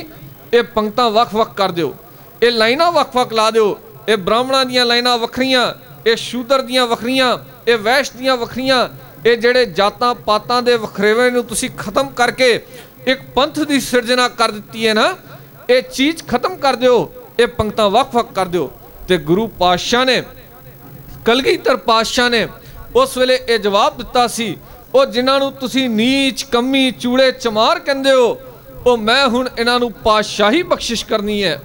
ਗੁਜਰ ਲੋਹਾਰ, ਅਹਿਰ ਕਮਜਾਤ, ਕੰਬੋਏ ਸੂਦਰ ਕੋਈ ਨਾ ਪੁੱਛੇ ਬਾਤ, ਚੀਵਰ ਨਾਈ ਉਹ ਰੋਲੇ ਸੁਨਿਆਰ, ਸੈਣੀ ਸੁਨਿਆਰੇ ਚੂੜੇ ਚਮਾਰ, ਪਟੋ ਬ੍ਰਾਹਮਣ ਜੋ ਹੋਤ ਮੰਗਵਾਰ ਬਹੁ ਰੂਪੀਏ ਲੁਭਾਣੇ ਔਰ ਕੁਮਿਆਰ इन गरीब सिखन को देऊं पातशाही ये याद रखें हमारी गुरियाई ਗੁਰੂ ਪਾਤਸ਼ਾਹ ਨੇ ਉਹਨਾਂ ਨੀਚ ਕੰਮੀ ਚੂੜੇ ਚਮਾਰ ਜਿਨ੍ਹਾਂ ਨੂੰ ਲੋਕੀ ਭੰਡ ਕਹਿੰਦੇ ਸਨ ਕਲਗੀਧਰ ਪਾਤਸ਼ਾਹ ਨੇ ਉਹਨਾਂ ਨੂੰ ਅੰਮ੍ਰਿਤ ਦੀ ਦਾਤ ਦੇ ਕੇ ਖੰਡੇ ਕੀ ਪੌਲ ਛਕਾ ਕੇ ਸਿੰਘ ਸਜਾਇਆ ਤੇ ਯਾਦ ਰੱਖੋ ਜਿਹੜਾ ਵਾਅਦਾ ਪਹਿਲੇ ਜਨਮ ਵਿੱਚ ਕੀਤਾ ਨਾ ਗੁਰੂ ਨਾਨਕ ਪਾਤਸ਼ਾਹ ਨੇ ਨੀਚਾ ਅੰਦਰ ਨੀਚ ਜਾਤ ਨੀਚੀ ਹੂੰ ਅਤ ਨੀਚ ਨਾਨਕ ਤਿਨਕੇ ਸੰਗ ਸਾਥ ਵਡਿਆ ਸੋ ਕਿਆ ਰੀਸ, ਕਲਗੀਧਰ ਪਾਤਸ਼ਾਹ ਨੇ ਉਹ ਵਾਅਦਾ ਦਸਵੇਂ ਜਾਮੇ ਦੇ ਵਿੱਚ ਪੂਰਾ ਕੀਤਾ ਤੇ ਉਹ ਨੀਚ ਕਹਾਣ ਵਾਲੇ ਮਨੁੱਖਾਂ ਨੂੰ ਗੁਰਿਆਈ ਬਖਸ਼ਿਸ਼ ਕੀਤੀ। ਗੁਰੂ ਪਾਤਸ਼ਾਹ ਨੇ ਆਪਣੇ ਬਰਾਬਰ ਦਾ ਦਰਜਾ ਦਿੱਤਾ। ਮੈਕਾਲਫ ਨੇ ਲਿਖਿਆ, ਕਹਿੰਦਾ, ਕਲਗੀਧਰ ਪਾਤਸ਼ਾਹ ਜਿਸ ਵੇਲੇ ਇੱਕ ਇੱਕ ਕਰਕੇ 6 ਪੰਜ ਸਿੰਘਾਂ ਨੂੰ ਤੰਬੂ ਦੇ ਵਿੱਚ ਲੈ ਗਏ, ਜਿਸ ਵੇਲੇ ਬਾਹਰ ਆਏ, ਪੰਜ ਦੇ ਨਾਲ 6 ਹੋਏ, ਕਹਿੰਦੇ, ਇਹ ਗੱਲ ਪਛਾਨੀ ਔਖੀ ਹੋ ਗਈ ਇਹਨਾਂ ਵਿੱਚ ਸ਼ੀਸ਼ ਭੇਟ ਕਰਨ ਵਾਲਾ ਸਿੱਖ ਕਿਹੜਾ ਹੈ ਤੇ ਇਹਨਾਂ ਵਿੱਚ ਸ਼ੀਸ਼ ਮੰਗਣ ਵਾਲਾ ਗੁਰੂ ਕਿਹੜਾ ਹੈ? ਛਿਆਂ ਦਾ ਬਾਣਾ ਇੱਕ ਹੋ ਗਿਆ, ਛਿਆਂ ਦੀ ਬਾਣੀ ਇੱਕ ਹੋ ਗਈ, ਛਿਆਂ ਦਾ ਸਰੂਪ ਇੱਕ ਹੋ ਗਿਆ, ਇਹਨਾਂ ਵਿੱਚ ਇਹ ਗੱਲ ਪਛਾਨੀ ਔਖੀ ਹੋ ਗਈ, ਇਹਨਾਂ ਵਿੱਚ ਗੁਰੂ ਕਿਹੜਾ ਹੈ ਤੇ ਸਿੱਖ ਕਿਹੜਾ ਹੈ? ਕਲਗੀਧਰ ਪਾਤਸ਼ਾਹ ਨੇ ਇਤਨਾ ਮਾਣ ਬਖਸ਼ਿਸ਼ ਕੀਤਾ। ਕਈ ਮੇਰੇ ਪਿਆਰੇ ਵੀਰ ਸਿੱਖ ਕਹਿੰਦੇ ਨੇ, ਅਸੀਂ ਕਲਗੀਧਰ ਪਾਤਸ਼ਾਹ ਦੇ ਸਿੱਖ ਹੀ ਨਹੀਂ ਬਣਨਾ, ਅਸੀਂ ਤਾਂ ਸਿੱਖ ਹੀ ਗੁਰੂ ਨਾਨਕ ਪਾਤਸ਼ਾਹ ਦੇ ਬਣਨਾ ਹੈ। ਇਹ ਭੁਲੇਖਾ ਆਪਣੇ ਜੀਵਨ ਚੋਂ ਕੱਢ ਦੇਣਾ ਚਾਹੀਦਾ ਹੈ। ਦਰਅਸਲ ਗੁਰੂ ਨਾਨਕ ਪਾਤਸ਼ਾਹ ਨੇ ਹੀ ਇਹ ਅੰਮ੍ਰਿਤ ਦੀ ਮਰਿਆਦਾ ਚਾਲੂ ਕਰਤੀ ਸੀ। ਭਾਈ ਸਾਹਿਬ, ਭਾਈ ਗੁਰਦਾਸ ਜੀ ਨੇ ਇਸ ਗੱਲ ਦੀ ਗਵਾਹੀ ਭਰੀ, ਕਹਿੰਦੇ ਚਰਨ ਧੋਏ ਰਹਿਰਾਸ ਕਰ ਚਰਣਾ ਅੰਮ੍ਰਿਤ ਸਿੱਖਾਂ ਪਿਲਾਇਆ। ਗੁਰੂ ਪਾਤਸ਼ਾਹ ਦੇ ਸਮੇਂ ਤੋਂ ਇਹ ਮਰਿਆਦਾ ਕਾਇਮ ਹੋ ਗਈ। ਚੌਥੇ ਪਾਤਸ਼ਾਹ ਦਾ ਸਮਾਂ ਆਇਆ, ਗੁਰੂ ਰਾਮਦਾਸ ਪਾਤਸ਼ਾਹ ਦਾ। ਇਹ ਗੱਲ ਬਾਣੀ ਦੇ ਵਿੱਚ ਲਿਖੀ ਹੈ, ਸਿੱਖੀ ਅਤੇ ਸੰਗਤੀ ਪਾਰ ਬ੍ਰਹਮ ਕਰ ਨਮਸਕਾਰਿਆ। ਇਹ ਦੋ ਲਫ਼ਜ਼ ਕਿਉਂ ਵਰਤੇ ਗਏ? ਸਿੱਖੀ ਅਤੇ ਸੰਗਤੀ। ਸਿੱਖ ਉਹ ਹੁੰਦੇ ਸਨ ਜਿਹੜੇ ਗੁਰੂ ਪਾਤਸ਼ਾਹ ਕੋਲੋਂ ਚਰਣਾ ਅੰਮ੍ਰਿਤ ਲੈ ਕੇ ਗੁਰੂ ਪਾਤਸ਼ਾਹ ਦੇ ਸਿੱਖ ਬਣ ਜਾਂਦੇ ਸਨ ਤੇ ਸੰਗਤੀ ਉਹ ਹੁੰਦੇ ਸਨ ਜਿਹੜੇ ਸੰਗਤ ਦੇ ਵਿੱਚ ਆ ਕੇ ਬਹਿੰਦੇ ਸਨ ਤੇ ਅੱਗੇ ਪ੍ਰਣ ਕਰਦੇ ਸਨ, ਸੱਚੇ ਪਾਤਸ਼ਾਹ, ਅਸੀਂ ਇਹਨਾਂ ਕੁਕਰਮਾਂ ਦਾ ਤਿਆਗ ਕਰਕੇ ਆਪਣੇ ਜੀਵਨ ਨੂੰ ਬਤੀਤ ਕਰਾਂਗਾ। ਸਮਾਂ ਦਸਵੇਂ ਪਾਤਸ਼ਾਹ ਦਾ ਆਇਆ। ਮਹਿਮਾ ਪ੍ਰਕਾਸ਼ ਨੇ ਬੜੀ ਸਵਾਦਲੀ ਘਟਨਾ ਦਾ ਜ਼ਿਕਰ ਕੀਤਾ। ਕਹਿੰਦਾ 1699 ਦੀ ਵਿਸਾਖੀ ਤੋਂ ਪਹਿਲਾਂ ਕਲਗੀਧਰ ਪਾਤਸ਼ਾਹ ਦਾ ਦੀਵਾਨ ਸਜਿਆ ਹੋਇਆ ਹੈ। ਗੁਰੂ ਪਾਤਸ਼ਾਹ ਨੇ ਹੁਕਮ ਕੀਤਾ, ਭਾਈ ਦਇਆ ਚੰਦ ਜੀ, ਪਾਣੀ ਦੀ ਗਾਗਰ ਭਰ ਕੇ ਲੈ ਆਓ। ਪਾਣੀ ਦੀ ਗਾਗਰ ਭਰ ਕੇ ਲਿਆਂਦੀ ਗਈ। ਸੱਚੇ ਪਾਤਸ਼ਾਹ ਨੇ ਮਰਿਆਦਾ ਦੇ ਮੁਤਾਬਕ ਪੈਰ ਦੇ ਅੰਗੂਠੇ ਦੇ ਨਾਲ ਉਹਨੂੰ ਟੱਚ ਕੀਤਾ। ਅਗਲਾ ਹੁਕਮ ਕੀਤਾ, ਭਾਈ ਦਇਆ ਚੰਦ ਇਸ ਪਾਣੀ ਦੀ ਗਾਗਰ ਨੂੰ ਭਰ ਕੇ ਉੱਪਰੋਂ ਬੰਦ ਕਰਕੇ ਟਾਕੀ ਲਾ ਕੇ ਦਰਿਆ ਸਤਲੁਜ ਦੇ ਵਿੱਚ ਇੰਨੀ ਡੂੰਗੀ ਸੁਟਿਆਓ ਇਹ ਮੁੜ ਕੇ ਦੁਬਾਰਾ ਬਾਹਰ ਨਾ ਨਿਕਲ ਸਕੇ। ਸਿੱਖਾਂ ਨੇ ਹੁਕਮ ਤਾਂ ਮੰਨ ਲਿਆ ਪਰ ਸ਼ੰਕਾ ਖੜੀ ਹੋ ਗਈ। ਆ ਕੇ ਸੱਚੇ ਪਾਤਸ਼ਾਹ ਦੇ ਕੋਲੋਂ ਸਵਾਲ ਕੀਤਾ। ਸੱਚੇ ਪਾਤਸ਼ਾਹ ਕਹਿਣ ਲੱਗੇ, ਸਿੱਖੋ, ਜਿਹੜੀ ਮਰਿਆਦਾ ਗੁਰੂ ਨਾਨਕ ਪਾਤਸ਼ਾਹ ਤੋਂ ਲੈ ਕੇ ਹੁਣ ਤੱਕ ਚਲੀ ਆ ਰਹੀ ਸੀ, ਉਸ ਮਰਿਆਦਾ ਨੂੰ ਬੰਦ ਕਰਤਾ ਗਿਆ ਹੈ ਤੇ ਅਗਲਾ ਐਲਾਨ 30 ਮਾਰਚ 1699 ਦੀ ਵਿਸਾਖੀ ਵਾਲੇ ਦਿਨ ਇਹ ਕਰ ਦਿੱਤਾ ਕਿ ਤਰੇ ਕੇਸ ਪਾਹੁਲ ਬਿਨ ਪੇਖੀ ਮੂਲਾ ਸਿੱਖ, ਮੇਰਾ ਦਰਸ਼ਨ ਨਾਹੀ ਤਿਸ ਪਾਪੀ ਤਿਆਗੇ ਪਿਖ ਜਿਹੜੇ ਸਿੱਖ ਨੇ ਅੰਮ੍ਰਿਤ ਦੀ ਦਾਤ ਨਹੀਂ ਲਈ ਉਹ ਮੇਰਾ ਸਿੱਖ ਹੀ ਨਹੀਂ ਹੋ ਸਕਦਾ। ਕਲਗੀਧਰ ਪਾਤਸ਼ਾਹ ਨੇ ਐਲਾਨ ਕੀਤਾ, ਇਤਿਹਾਸ ਇਸ ਗੱਲ ਦਾ ਹਾਮੀ ਹੈ। ਪੜ੍ਹ ਕੇ ਦੇਖੋ ਗੁਰੂ, ਇਤਿਹਾਸ। ਭਾਈ ਡੱਲਾ ਸੱਚੇ ਪਾਤਸ਼ਾਹ ਕੋਲ ਆਇਆ, ਕਹਿਣ ਲੱਗਾ, ਸੱਚੇ ਪਾਤਸ਼ਾਹ, ਮੈਨੂੰ ਆਪਣੇ ਚਰਨਾਂ ਵਿੱਚ ਪੀੜੀ ਜਿੰਨੀ ਥਾਂ ਦੇ ਦਿਓ। ਗੁਰੂ ਪਾਤਸ਼ਾਹ ਕਹਿਣ ਲੱਗੇ, ਭਾਈ ਡੱਲਿਆ, ਅੰਮ੍ਰਿਤ ਦੀ ਦਾਤ ਲਈ ਹੈ, ਗੁਰੂ ਦਾ ਸਿੱਖ ਬਣਿਆ ਭਾਈ ਡੱਲਾ ਕਹਿੰਦਾ, ਨਹੀਂ, ਸੱਚੇ ਪਾਤਸ਼ਾਹ, ਅੰਮ੍ਰਿਤ ਦੀ ਦਾਤ ਨਹੀਂ ਲਈ। ਗੁਰੂ ਪਾਤਸ਼ਾਹ ਕਹਿਣ ਲੱਗੇ, ਫਿਰ ਭਾਈ ਡਲਿਆ, ਤੈਨੂੰ ਪੀੜੀ ਜਿੰਨੀ ਥਾਂ ਸਾਡੇ ਚਰਨਾਂ ਵਿੱਚ ਨਹੀਂ ਮਿਲ ਸਕਦੀ। ਭਾਈ ਦਿਆਲ ਦਾਸ ਜਿਨੇ ਗੁਰੂ ਪਾਤਸ਼ਾਹ ਦੇ ਵਾਸਤੇ ਲੰਗਰ ਤਿਆਰ ਕੀਤੇ ਨੇ ਤੇ ਲੰਗਰ ਤਿਆਰ ਕੀਤੇ ਗੁਰੂ ਪਾਤਸ਼ਾਹ ਪਟਿੰਡੇ ਦੇ ਕੋਲੋਂ ਆ ਰਹੇ ਨੇ। ਰਸਤੇ ਵਿੱਚ ਗੁਰੂ ਪਾਤਸ਼ਾਹ ਦੇ ਘੋੜੇ ਨੂੰ ਪਿਆਸ ਲੱਗੀ। ਭਾਈ ਦਿਆਲ ਦਾਸ ਦੇ ਲੰਗਰ ਦੇ ਵਿੱਚੋਂ ਪਾਣੀ ਦੀ ਬਾਲਟੀ ਭਰ ਕੇ ਸਿੱਖਾਂ ਨੇ ਅੱਗੇ ਰੱਖਤੀ ਨੀਲੇ ਅੱਗੇ, ਨੀਲੇ ਨੇ ਸਿਰ ਮਾਰਤਾ। ਇਹ ਗੱਲ ਸਮਝਣ ਵਾਲੀ ਹੈ, ਜੇ ਗੁਰੂ ਦੇ ਘੋੜੇ ਵੀ ਨਿਗਰੇ ਨੂੰ ਪ੍ਰਵਾਨ ਨਹੀਂ ਕਰਦੇ, ਕਿ ਗੁਰੂ ਸਾਨੂੰ ਪ੍ਰਵਾਨ ਕਰ ਲੇਗਾ ਗੁਰੂ ਪਿਆਰ ਵਾਲਿਓ, ਆਓ ਸੁਚੇਤ ਹੋਈਏ। ਕਲਗੀਧਰ ਪਾਤਸ਼ਾਹ ਦੇ ਸਮੇਂ ਇੱਕ ਬਾਬਾ ਕਲਾਧਾਰੀ ਜੀ ਹੋਏ ਨੇ। ਮੈਂ ਗੱਲਾਂ ਤੁਹਾਡੇ ਨਾਲ ਇਸ ਕਰਕੇ ਕਹਿ ਰਿਹਾ, ਕਿਉਂਕਿ ਅਸੀਂ ਦਾਅਵੇ ਨਾਲ ਕਹਿੰਦੇ ਆ ਨਾ, ਅਸੀਂ ਕਲਗੀਧਰ ਪਾਤਸ਼ਾਹ ਦੇ ਸਿੱਖ ਹਾਂ, ਅਸੀਂ ਗੁਰੂ ਨਾਨਕ ਦੇ ਸਿੱਖ ਹਾਂ। ਅੱਜ ਦੇਖੋ ਸਾਡੀ ਗਿਣਤੀ ਮਿੰਤੀ ਕੈਸੀ ਹੋ ਗਈ। ਅੱਜ ਤੰਬਾਕੂ ਰਗੜ ਲਿਆ ਸਿੱਖ, ਮੈਂ ਗੁਰੂ ਨਾਨਕ ਦਾ ਸਿੱਖ ਹਾਂ। ਅੱਜ ਸ਼ਰਾਬ ਪੀ ਰਿਹਾ ਸਿੱਖ, ਮੈਂ ਗੁਰੂ ਨਾਨਕ ਦਾ ਸਿੱਖ ਹਾਂ। ਅੱਜ ਤੰਬਾਕੂ ਖਾ ਰਿਹਾ, ਮੈਂ ਗੁਰੂ ਨਾਨਕ ਦਾ ਸਿੱਖ ਹਾਂ। ਅੱਜ ਨਸ਼ਿਆਂ ਦਾ ਸੇਵਨ ਕਰ ਰਿਹਾ ਮੈਂ ਗੁਰੂ ਨਾਨਕ ਦਾ ਸਿੱਖ ਹਾਂ। ਅੱਜ ਸਿਰ ਦੇ ਉੱਪਰ ਦਸਤਾਰ ਨਹੀਂ, ਮੁੱਛਾਂ ਪੱਖੋਂ ਮੌਲਵੀ, ਆਖਣ ਨੂੰ ਸਰਦਾਰ, ਇਹ ਅਵਸਥਾ ਸਾਡੀ ਬਣ ਰਹੀ ਹੈ। ਪਰ ਮਾਂ ਨਾਲ ਕਹਿ ਰਿਹਾ, ਤੂੰ ਕੌਣ ਹੈ ਭਾਈ? ਮੈਂ ਗੁਰੂ ਨਾਨਕ ਦਾ ਸਿੱਖ ਹਾਂ। ਇੱਥੇ ਗੁਰੂ ਨਾਨਕ ਨੇ, ਕਲਗੀਧਰ ਪਾਤਸ਼ਾਹ ਨੇ ਕੋਈ ਸਿੱਖੀ ਦੀ ਸੇਲ ਨਹੀਂ ਲਾਈ, ਜਿਹੜਾ ਆਏ, ਉਹ ਗੁਰੂ ਨਾਨਕ ਦਾ ਸਿੱਖ। ਇੱਥੇ ਤਾਂ ਰਹਿਤਾਂ ਬੈਤਾਂ ਵਿੱਚ ਪੱਕਾ ਹੋਣਾ, ਇੱਥੇ ਗੁਰੂ ਦੇ ਜੀਵਨ ਨੂੰ, ਗੁਰੂ ਦੇ ਗੁਣਾਂ ਨੂੰ ਆਪਣੇ ਜੀਵਨ ਦੇ ਅੰਦਰ ਤਾੜਨਾ, ਤਾਂ ਹੀ ਗੁਰੂ ਨਾਨਕ ਦਾ ਸਿੱਖ ਕਹਾ ਸਕਦਾ ਹੈ। ਕਲਗੀਧਰ ਪਾਤਸ਼ਾਹ ਦੇ ਵੇਲੇ ਬਾਬਾ ਕਲਾਤਾਰੀ ਜੀ ਹੋਏ। ਉਹਨਾਂ ਦੇ ਅੱਗੇ ਸੰਤਾਨ ਸਨ ਬਾਬਾ ਅਜੀਤ ਸਿੰਘ। ਉਹਨਾਂ ਦੇ ਅੱਗੇ ਕੋਈ ਔਲਾਦ ਨਹੀਂ ਹੋਈ। ਕਲਗੀਧਰ ਪਾਤਸ਼ਾਹ ਕੋਲ ਜਾ ਕੇ ਬੇਨਤੀ ਕੀਤੀ, ਕਹਿਣ ਲੱਗੇ, ਸੱਚੇ ਪਾਤਸ਼ਾਹ, ਮੇਰੇ ਘਰ ਕੋਈ ਸੰਤਾਨ ਨਹੀਂ ਹੈ। ਤੁਸੀਂ ਬਖਸ਼ਿਸ਼ ਕਰੋ, ਰਹਿਮਤ ਕਰੋ। ਮੇਰੇ ਘਰ ਔਲਾਦ ਹੋ ਜਾਏ। ਤੇ ਗੁਰੂ ਪਾਤਸ਼ਾਹ ਕਹਿਣ ਲੱਗੇ, ਭਾਈ ਅਜੀਤ ਤੂੰ ਖੰਡੇ ਬਾਟੇ ਦਾ ਅੰਮ੍ਰਿਤ ਛਕਿਆ? ਕਹਿੰਦਾ, ਨਹੀਂ, ਸੱਚੇ ਪਾਤਸ਼ਾਹ, ਮੈਂ ਤਾਂ ਗੁਰੂ ਨਾਨਕ ਦੀ ਪੰਜਵੀਂ ਸੰਤਾਨਕ ਜੋਤ ਹਾਂ ਕਿ ਮੈਨੂੰ ਵੀ ਅੰਮ੍ਰਿਤ ਛਕਣ ਦੀ ਲੋੜ ਹੈ। ਤੇ ਕਲਗੀਧਰ ਪਾਤਸ਼ਾਹ ਕਹਿਣ ਲੱਗੇ, ਨਹੀਂ ਭਾਈ, ਸੰਤਾਨਕ ਜੋਤ ਹੋਣਾ ਵੱਖਰੀ ਗੱਲ ਹੈ। ਜਦੋਂ ਤੱਕ ਗੁਰੂ ਨਾਨਕ ਦੇ ਘਰ ਦੇ ਵਿੱਚ ਜਨਮ ਲੈ ਕੇ ਖੰਡੇ ਬਾਟੇ ਦਾ ਅੰਮ੍ਰਿਤ ਨਹੀਂ ਛਕ ਲੈਂਦੇ ਨਾ, ਤਾਂ ਤੱਕਨ ਕਲਗੀਧਰ ਪਾਤਸ਼ਾਹ ਦੀਆਂ, ਗੁਰੂ ਨਾਨਕ ਪਾਤਸ਼ਾਹ ਦੀਆਂ ਬਖਸ਼ਿਸ਼ਾਂ ਦੇ ਪਾਤਰ ਨਹੀਂ ਬਣ ਸਕਦੇ। ਤੇ ਇਤਿਹਾਸ ਇਸ ਗੱਲ ਦਾ ਗਵਾਹ ਹੈ ਉਹਨਾਂ ਨੇ ਅੰਮ੍ਰਿਤ ਦੀ ਦਾਤ ਪ੍ਰਾਪਤ ਕੀਤੀ। ਉਹਨਾਂ ਦੇ ਘਰ ਭਾਈ ਸਾਹਿਬ ਸਿੰਘ, ਉਹ ਮਰਦ ਅਗੰਬੜਾ ਸੂਰਮਾ ਪੈਦਾ ਹੋਇਆ ਜਿਨਨੇ ਮਹਾਰਾਜਾ ਰਣਜੀਤ ਸਿੰਘ ਨੂੰ ਤਿਲਕ ਦਿੱਤਾ ਸੀ। ਇਹ ਇਤਿਹਾਸ ਦੇ ਹਵਾਲੇ ਨੇ, ਗੁਰੂ ਪਿਆਰ ਵਾਲਿਓ, ਜੇਕਰ ਅੱਜ ਵੀ ਅਸੀਂ ਸੁਚੇਤ ਹੋਣ ਹੋਣ ਵਾਸਤੇ ਤਿਆਰ ਨਹੀਂ ਨਾ ਥਾਂ ਥਾਂ ਤੇ ਠੋਕਰਾਂ ਖਾਣ ਵਾਸਤੇ, ਗੁਰੂ ਦੇ ਦਰ ਨੂੰ ਛੱਡ ਕੇ ਜਾਣ ਵਾਸਤੇ ਤਿਆਰ ਹਾਂ, ਤੇ ਸਾਡੇ ਤੋਂ ਵੱਡਾ ਮੰਦਭਾਗੀ ਇਨਸਾਨ ਹੋਰ ਕੋਈ ਹੋ ਨਹੀਂ ਸਕਦਾ। ਸਮਾਂ ਮੇਰਾ ਮੁਕਦਾ ਜਾ ਰਿਹਾ। ਮੈਂ ਇੱਕ ਘਟਨਾ ਕਹਿ ਕੇ ਆਪ ਜੀ ਨਾਲ ਖਿਮਾ ਦਾ ਯਾਚਕ ਹੋਣਾ ਹੈ। ਕਹਿੰਦੇ ਇੱਕ ਅੰਗਰੇਜ਼ ਜਿਹੜਾ ਹੈ, ਉਹ ਹਿੰਦੁਸਤਾਨ ਦੀ ਧਰਤੀ ਦੇ ਉੱਪਰ ਆਇਆ। ਜਿਸ ਵੇਲੇ ਹਿੰਦੁਸਤਾਨ ਦੇ ਵਿੱਚ ਆ ਕੇ ਵਿਚਰਿਆ, ਬੜਿਆ, ਘੁੰਮਿਆ, ਫਿਰਿਆ। ਕਹਿੰਦੇ ਇੱਕ ਦਿਨ ਇੱਕ ਨਹਿਰ ਦੇ ਕੰਡੇ ਕੰਡੇ ਜਾ ਰਿਹਾ ਹੈ। ਮਾਤਾ ਕੱਪੜੇ ਧੋ ਰਹੀ ਬੱਚਾ ਪਿੱਛੇ ਖੇਡ ਰਿਹਾ ਹੈ। ਅੰਗਰੇਜ਼ ਨੇ ਤੱਕਿਆ ਮਾਤਾ ਨੂੰ ਪਤਾ ਨਹੀਂ ਲੱਗਿਆ। ਬੱਚਾ ਖੇਡਦੇ ਖੇਡਦੇ ਨਹਿਰ 'ਚ ਬੱਚੇ ਨੇ ਛਾਲ ਮਾਰਤੀ। ਅੰਗਰੇਜ਼ ਕੱਪੜਿਆਂ ਸਮੇਤ ਨਹਿਰ ਦੇ ਵਿੱਚ ਛਾਲ ਮਾਰੀ। ਤੇ ਬੱਚੇ ਨੂੰ ਲੱਭ ਕੇ ਕੱਢ ਕੇ ਬਾਹਰ ਲੈ ਆਇਆ। ਕਹਿਣ ਲੱਗੀ, ਮਾਤਾ, ਤੈਨੂੰ ਪਤਾ ਨਹੀਂ ਲੱਗਿਆ? ਤੇਰਾ ਬੱਚਾ ਨਹਿਰ ਦੇ ਵਿੱਚ ਡਿੱਗਿਆ ਆ ਆਪਣਾ ਬੱਚਾ, ਫੜ ਆਪਣਾ ਬੱਚਾ। ਤੇ ਮਾਤਾ ਨੇ ਅੱਗੋਂ ਕੋਈ ਧੰਨਵਾਦ ਨਹੀਂ, ਕੋਈ ਗੱਲ ਨਹੀਂ, ਕੋਈ ਬਾਤ ਨਹੀਂ, ਕੱਪੜੇ ਚੁੱਕੇ, ਸਮੇਟੇ, ਬੱਚੇ ਨੂੰ ਗੋਦੀ ਚੁੱਕਿਆ ਤੇ ਆਪਣੇ ਘਰ ਨੂੰ ਹੋ ਤੁਰੀ। ਅੰਗਰੇਜ਼ ਬੜਾ ਸੋਚਾ ਸੋਚਦੀ ਜਾ ਰਿਹਾ ਹੈ, ਇਹ ਕੈਸੇ ਨੇ ਹਿੰਦੁਸਤਾਨ ਦੇ ਲੋਕ? ਸਾਡੇ ਸ਼ਹਿਰ ਦੇ ਵਿੱਚ, ਸਾਡੇ ਦੇਸ਼ ਦੇ ਵਿੱਚ ਕਿਸੇ ਬੰਦੇ ਦਾ ਰੁਮਾਲ ਡਿੱਗ ਜਾਵੇ ਨਾ, ਉਹ ਤਿੰਨ ਵਾਰੀ ਥੈਂਕਸ ਕਹਿੰਦਾ ਹੈ, ਧੰਨਵਾਦ ਕਹਿੰਦਾ ਹੈ। ਇਹ ਕੈਸੇ ਹਿੰਦੁਸਤਾਨ ਦੇ ਲੋਕ ਨੇ? ਅੱਗਾ ਸੋਚਦੇ ਸੋਚਦੀ ਜਾ ਰਿਹਾ ਇੱਕ ਅੰਗਰੇਜ਼ ਹੋਰ ਮਿਲਿਆ। ਕਹਿਣ ਲੱਗਾ, ਮਿੱਤਰਾ, ਤੂੰ ਬੜਾ ਉਦਾਸ ਦਿਖਾਈ ਦਿੰਦਾ। ਉਹਨੇ ਸਾਰੀ ਗੱਲਬਾਤ ਸੁਣਾਈ। ਮੈਂ ਇਸ ਤਰ੍ਹਾਂ ਬੱਚੇ ਨੂੰ ਬਚਾਤਾ ਪਰ ਮਾਤਾ ਨੇ ਮੇਰਾ ਧੰਨਵਾਦ ਨਹੀਂ ਕੀਤਾ ਤੇ ਅੱਗੋਂ ਅੰਗਰੇਜ਼ ਜਵਾਬ ਦਿੰਦਾ, ਕਹਿੰਦਾ, ਮਿੱਤਰਾ, ਤੂੰ ਤਾਂ ਵਾਕਈ ਬੜਾ ਮੂਰਖ ਹੈ। ਤੈਨੂੰ ਪਤਾ ਨਹੀਂ, ਤੈਨੂੰ ਹਿੰਦੁਸਤਾਨ ਦੇ ਵਿੱਚ ਆਇਆ ਹੋਇਆ ਇਤਨਾ ਸਮਾਂ ਹੋ ਗਿਆ। ਤੈਨੂੰ ਅਜੇ ਪਤਾ ਨਹੀਂ ਲੱਗਿਆ। ਇਹ ਹਿੰਦੁਸਤਾਨ ਦੇ ਲੋਕ ਜਿਸ ਹਿੰਦੁਸਤਾਨ ਦੀਆਂ ਗੁਲਾਮੀ ਦੀਆਂ ਜੜਾਂ ਕੱਟਣ ਦੇ ਵਾਸਤੇ ਉਸ ਕਲਗੀਧਰ ਪਾਤਸ਼ਾਹ ਨੇ ਆਪਣੀ ਮਾਤਾ ਕੁਰਬਾਨ ਕਰ ਦਿੱਤੀ, ਆਪਣੇ ਪਿਤਾ ਨੂੰ ਕੁਰਬਾਨ ਕਰਤਾ, ਆਪਣੇ ਬੱਚਿਆਂ ਨੂੰ ਕੁਰਬਾਨ ਕਰਤਾ, ਉਹ ਉਹਨਾਂ ਨੇ ਛੜਿਆ ਹੀ ਕੁਛ ਨਹੀਂ। ਇਹ ਲੋਕ ਹਿੰਦੁਸਤਾਨ ਦੇ ਉਸ ਕਲਗੀਧਰ ਪਾਤਸ਼ਾਹ ਦੇ ਧੰਨਵਾਦੀ ਨਹੀਂ ਹੋ ਸਕੇ। ਇਹਨੇ ਤੇਰਾ ਧੰਨਵਾਦ ਕਿੱਥੋਂ ਕਰ ਦੇਣਾ ਸੀ? ਠੀਕ ਲਿਖਿਆ ਮੈਕਾਲਫ ਨੇ। ਮੈਕਾਲਫ ਕਹਿੰਦਾ ਉਹ ਕਲਗੀਧਰ ਪਾਤਸ਼ਾਹ ਤੈਨੂੰ ਤੇਰੇ ਸਿੱਖ ਕਹਿੰਦੇ ਨੇ ਤੂੰ ਅਪੁੱਲ ਹੈ। ਲੇਕਿਨ ਮੈਂ ਕਹਿੰਨਾ ਤੂੰ ਬਹੁਤ ਵੱਡਾ ਭੁੱਲਣਹਾਰ ਹੈ। ਜੇ ਜਨਮ ਲੈਣਾ ਸੀ, ਇਸ ਹਿੰਦੁਸਤਾਨ ਪਟਨੇ ਇੰਡੀਆ ਦੀ ਧਰਤੀ ਦੇ ਉੱਪਰ, ਜੇ ਕਿਤੇ ਕਲਗੀਧਰ ਪਾਤਸ਼ਾਹ ਤੂੰ ਸਾਡੇ ਦੇਸ਼ ਵਿੱਚ ਜਨਮ ਲੈ ਲਿਆ ਹੁੰਦਾ ਨਾ, ਤੇ ਅੱਜ ਅਸੀਂ ਬੱਚੇ ਬੱਚੇ ਦੇ ਗਲਾਂ ਦੇ ਵਿੱਚ ਕਿਰਪਾਨਾਂ ਪਾ ਕੇ ਉਹਨਾਂ ਕੋਲੋਂ ਵਾਹਿਗੁਰੂ ਜੀ ਕਾ ਖਾਲਸਾ, ਵਾਹਿਗੁਰੂ ਜੀ ਕੀ ਫਤਿਹ ਬੁਲਵਾ ਦੇਣੀ ਸੀ। ਇਹ ਮੈਕਾਲਫ ਨੇ ਲਿਖਿਆ, ਗੁਰੂ ਪਿਆਰ ਵਾਲਿਓ ਸੁਚੇਤ ਹੋ ਜਾਈਏ, ਕਲਗੀਧਰ ਪਾਤਸ਼ਾਹ ਬਖਸ਼ਿਸ਼ ਕਰਨ। ਰਹਿਮਤ ਕਰਨ, ਆਪਣੇ ਫਰਜ਼ਾਂ ਦੀ ਪਹਿਚਾਨ ਕਰੀਏ।